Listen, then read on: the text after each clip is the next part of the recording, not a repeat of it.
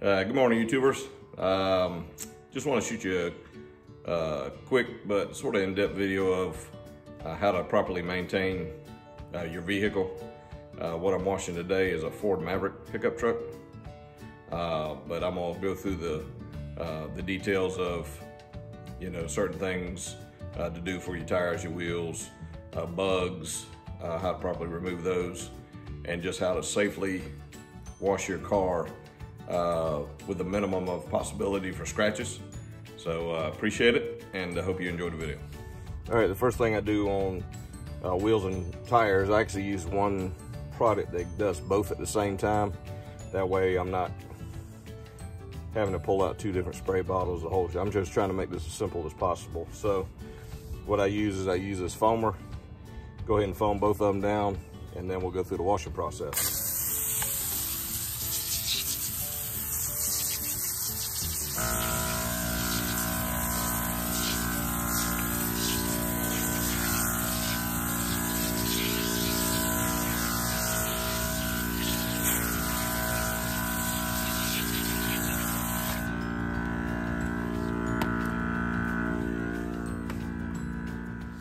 All right, the product I use was a P&S Brake Buster.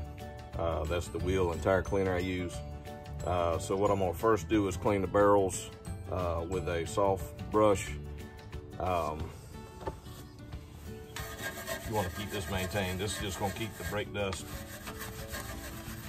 and road grime off the inside of your barrels with your, your wheels itself, so.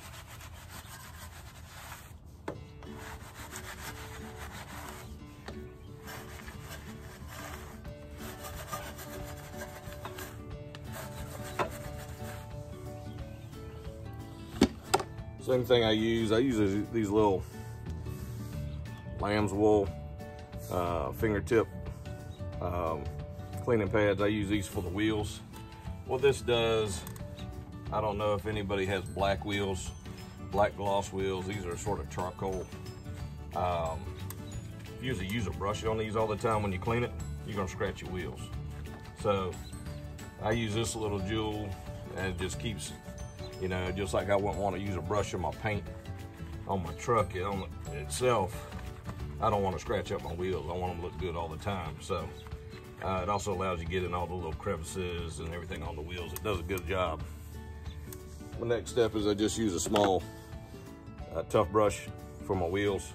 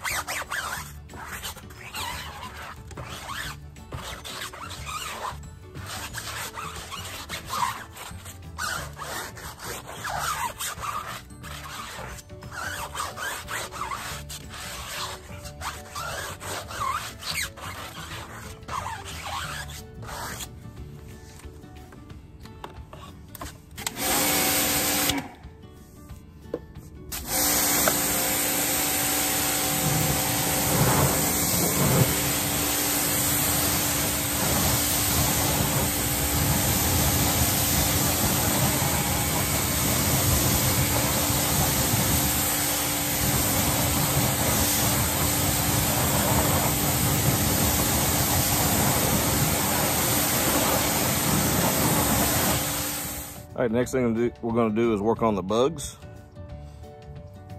As you can tell, we've got bugs on the front.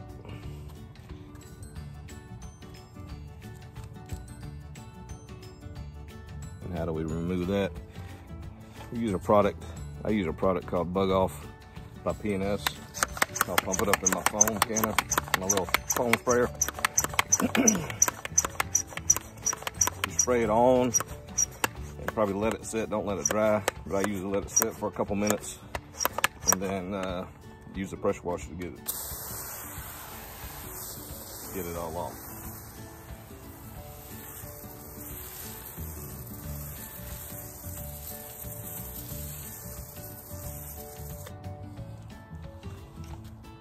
All right, it's been a couple minutes to let the uh, product work. What that product does is actually uh, helps break down the proteins um, of the bug guts on your vehicle. So what, what you can do now is just, uh, I use a pressure washer, obviously. Uh, I wanna try to keep as uh, the least amount of aggressive scrubbing on your paint as possible. That's what I try to do. Um, and this is just an easy way of doing it.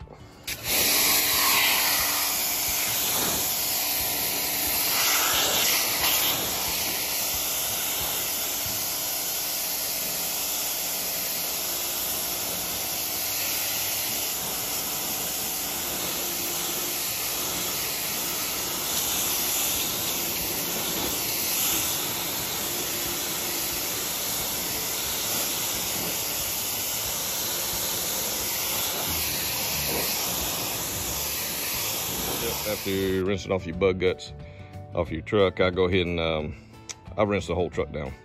I'm trying to eliminate, um, trying to remove all the dust. Uh, this truck is not filthy, it is dirty. I do try to wash it. I do try to wash it once a week. Sometimes it's once every two weeks. Um, but as you can tell, there's dirt. I don't want to have a, a, possibility of that getting in my sponge when I'm going around um, washing the truck when I foam it. So I want to remove all that to get rid of the possibility of scratching that, getting all my paint and scratching my paint. So we're gonna go ahead and rinse it off.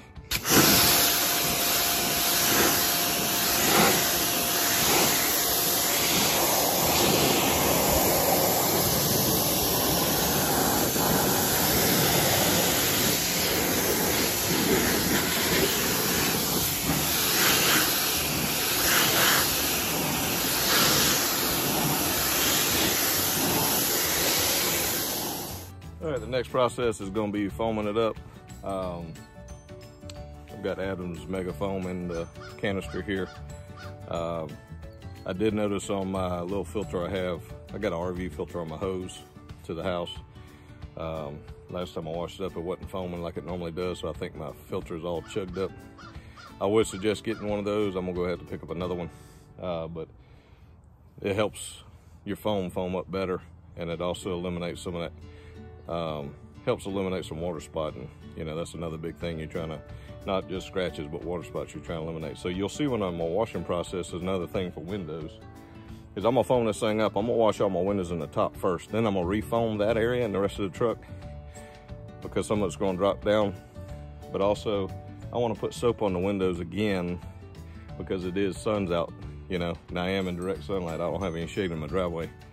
Um, that way I don't get water spots in my windows, you know, because I'm, I'm washing the rest of the truck and it's drying. So soap will react, the water will reactivate it and rinse off clean, and that'll help eliminate some water spots. So I'll go through that process right now.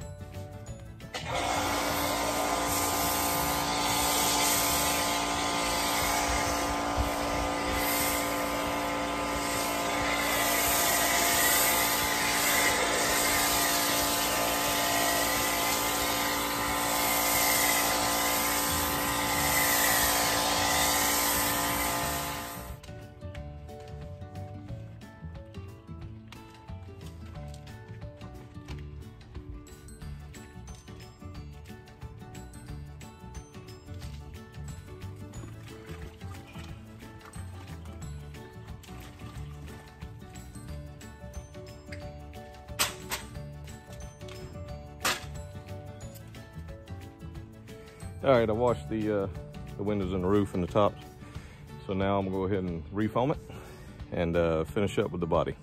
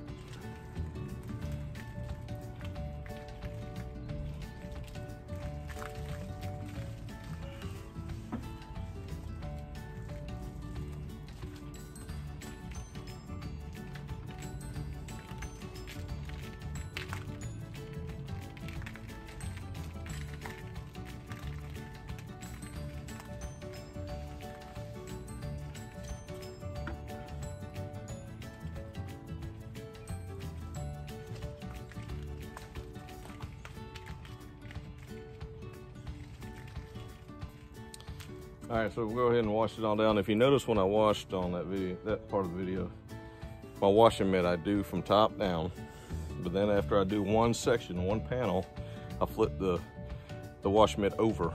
So it's a clean side to do the next one. Then I dump it in the bucket, release all the dirt off that uh, wash mitt, and then I go to my next panel. So uh, we're gonna go ahead and rinse it off. I use uh, the white tip on the pressure washer. Uh, so it's nice and soft. It fans out a little bit better.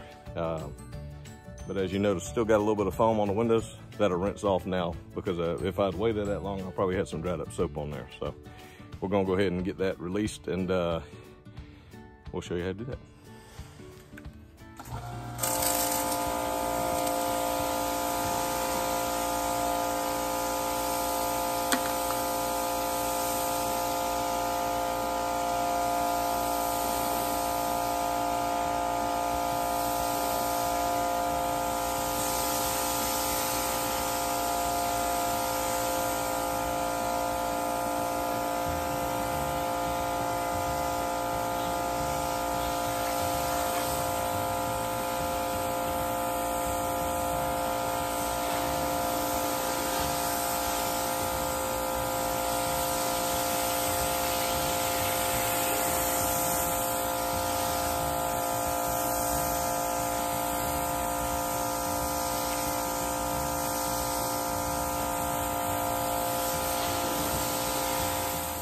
Right, I've completed rinsing off the truck.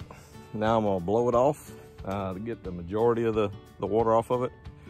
Um, and then we'll come in with a drying aid and finish it off.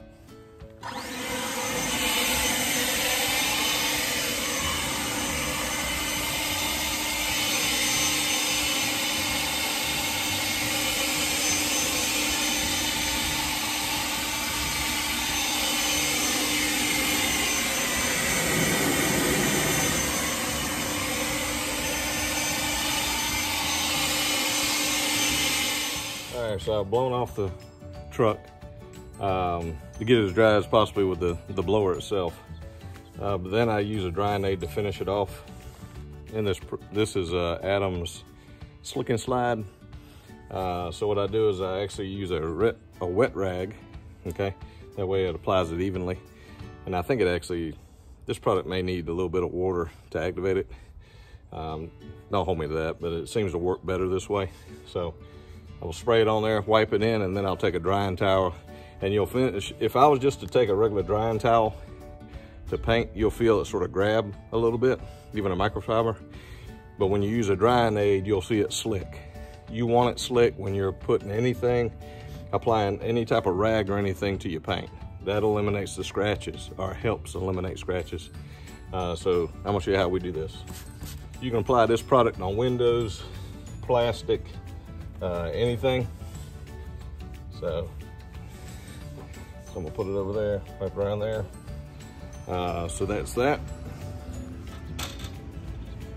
Then I finish it up with a drying rag.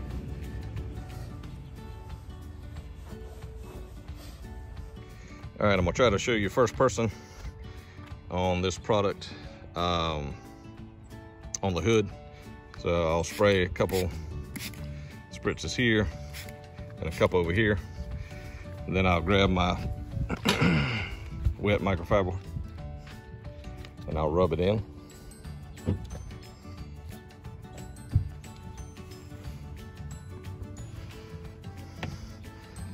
So at this point, even with the the microfiber, you'll, I mean, you're getting rid of the water already. Don't think water, you know, a lot of people want to use a beach towel on their paint. That's terrible. Try to get you some good rags. Um, that'll help it. So at this point, I'm gonna use the microfiber drying towel, knock this out.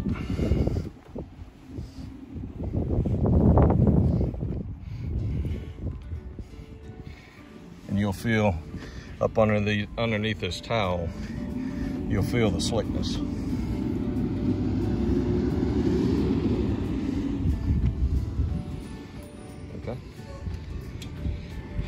Of it will flash off. And that's how it looks. All right, well, the old Maverick's finished. You can tell all the bugs are removed, clean, and that was done safely. Uh, you can see the hood. It's glossing, shining pretty good. Windows are all done. Uh, wheels are clean. I don't normally dry, uh, dress my tires. Sometimes I, if I do, I mean, sometimes I do, sometimes I don't. When I detail other people's cars, I do it. But as for my own, I usually just, if I keep it nice and clean, they, they look good to me. So, uh, windows all done. But I wanted to show you the gloss on this. That's why I pulled it in the garage, just a little better. White's always tough to see gloss. But if you can get white to pop, you know, and shine like this, you've got a good product. And I want to share that one product with you once I show the other four that I used today. Uh, first one I used on the wheels and tires was the P&S Brake Buster. Uh, I used it four to one, uh, four parts water, one part, part concentrate. In that foaming uh, sprayer, uh, I usually get about four cars out of that one sprayer. I'll probably, I think I put three ounces of this product in there. So you know where I sit on that. Everybody, I mean, you watch me foam it up, you probably think, man, he's using a ton of product. Really not, really. I mean, if you think about it, I'm probably using an ounce per vehicle. That's it. So um, this stuff works great. Uh, there's other ones that are good as well. This one has less of a chemical scent, and that's why I choose this one. When I wash cars, and as many as I do, I want to have a good experience as well. I don't want to be smelling a whole bunch of bad product. I'm going to be truthful with you. Uh, the P&S Bug Off out of the Pro Series, you saw how well that worked. I put it in the pump foamer, sprayed it on, let it sit for about two minutes, and then pressure washed all the bugs off. I don't have to scrub. I don't have to do anything. Stuff works great. Uh, Mega Foam from Adams. You're probably thinking I use a lot of that. Uh, I've gone through quite a few bottles of this stuff. It's great. Um, one thing I can tell you, that foam cannon I used, you saw it uh, earlier in the video. I, I put two ounces of this stuff in the foam cannon and I was able to foam with this truck twice. So it's concentrated, does a nice job rinsing off and uh, does a good job cleaning, has good lubricity. So it's lubricated on the surface when I put my wash mitt across there. And um, that helps eliminate, you know, prevent scratching, you know, so you want products to help you prevent scratching. The Slick and Slide is my drying aid. Same thing. Why do I use that? If you put a regular towel on your surface, you'll feel it grab a little bit. When it does that, it's really scratching your paint. But if you put a product like this, uh, Extreme Solutions Topper is another good one. It's really the same thing as this. It's made at the same plant. This one just has a different color and has a different scent. I've used both of them. This one I happened to get on sale the last time. That's why I chose this one. Uh, but it does a great job. It does add a little extra protection till my next wash, you know. So uh, any any extra protection is always good, you know, for water beading uh, and so forth. But this is the product I used on the paint. This is the one that's why it's glossy. Brian with Apex Surface Protection. Uh, he came with this line probably two months ago. It's called BC, which means blue collar. This was his first product that came out was the, th the three. So he's got BC one, two, and three. The three is like $18, $18.98 or whatever it is, and it's uh, three month, three to four or five month protection. I was so impressed with this. This was the first one I bought it the first night he had it out. Once he released it, um, really enhances the gloss. If you can get a white vehicle popping, then you've done a nice job. This stuff does great. Uh, so what I'm going to do, I'm actually going. Uh, the BC2 is a one-year coating is, is also in a, uh, in a sprayer. And then the BC1 is a five-year coating. You know, it's more like a ceramic uh, type coating. Uh, but I think I'm gonna purchase the BC2 as well. Go ahead and put it on here. That way all I have to do is, you know, I got 12 months of protection. Then all I have to do is my regular maintenance wash with products like this. And um, it'll keep the truck shining, looking great. Uh, products like this, you can apply it on everything, your plastics, your lights, and the paint, and windows actually too. Um, so that, what that does is, you know, you get good product on a, on a, on your, your vehicle surface. It helps eliminate wood water spotting and so forth. So, um, and you know, if, if you go through the proper wash method like we showed you today, it helps prevent scratching as well. Your new, your vehicle will look new a lot longer if you just do uh, the process that we showed you here today. But I appreciate y'all's time. If you have any questions, uh, leave it in the comment section below. And I uh, appreciate y'all, and y'all have a good day.